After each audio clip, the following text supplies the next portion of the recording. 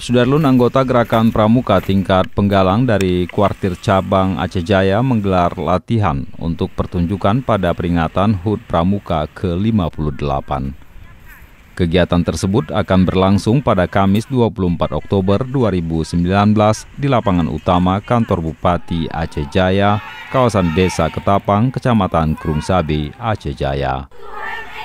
Wakabina Muda Kuarcap Aceh Jaya, Safrizal Sabit mengatakan Nantinya peserta akan menampilkan beberapa atraksi ah, termasuk ada dua teatrikal. Yang sedang kita rancang, yang pertama adanya semacam teatrikal, hmm. uh, atraksi kebolehan dalam bentuk uh, dramatisasi hmm. kegiatan. Yang kedua nanti upacara formal hmm. uh, yang akan dipimpin langsung oleh Kemabicap Aceh Jaya. Hmm.